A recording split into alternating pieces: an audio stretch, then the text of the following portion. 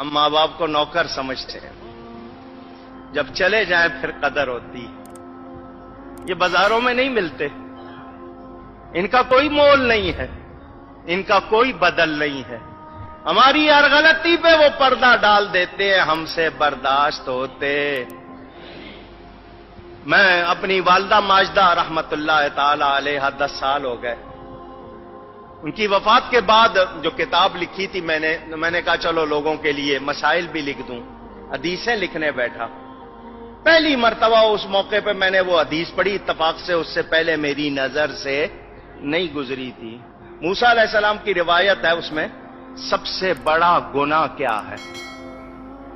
सबसे बड़ा सबसे बड़ा, हम समझते हैं किसी को कत्ल कर देना, गीबत कर देना जना कर लेना, शराब पी लेना, है? हम तो इसको समझते हैं। उस हदीस में था, सबसे बड़ा गुना यह है माँ बाप बुलाएँ और मैं कह दूँ, मेरे पास टाइम नहीं है। सबसे बड़ा गुना और हमने ये कितनी बार किया होगा?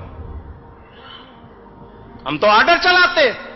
माँ को कह देंगे, सुबह इतने बजे मुझे नाश्ता चाहिए, मेरे कपड़े चाहिए, मेरे दोस्त आ रहे हैं, ये ये पकड़ा चाहिए। माँ, ये नौकर है अगर बाप आपकी को करे तो आप कहते तूने क्या किया? तेरे बाप ने भी तो तेरे साथ किया था। यूँ आगे बात करते ये घरों में खराबियाँ इसीलिए आई हैं कि तरबियत। हुजूर सल्लल्लाहु अलैहि वसल्लम का इरशाद बेहकी शरीफ में हदीस मौजूद। फरमाया, मैं ईशा की नमाज़ पढ़ रहा होता। मेरी माँ मेरा नाम लेकर बुलाती। मैं नमाज़ छोड़कर माँ के पास जाता। कितना बड़ा पैगाम मेरे आपके लिए। मूसा सलाम मिजाज में तेज़ी थी, ऊँची बोल लेते थे। जब जाते थे कोहे तूर पर कलाम करने, माँ पीछे मुसल्ला बिछा लेती थी। या अल्लाह, मेरे मूसा के मिजाज में तेज़ी है। बात करते हुए आवाज़ ऊँची हो जाए तो माफ़ कर देना। नबी थे वो मासूम माँ माँ होती है। दुआ कर रही है, माँ का इंतकाल हो गया। मूसा सलाम तूर पर गए। गैब से आवाज़ आई, आज जरा होश से बात करना, पीछे दुआ करने वाली नहीं बैठी अब।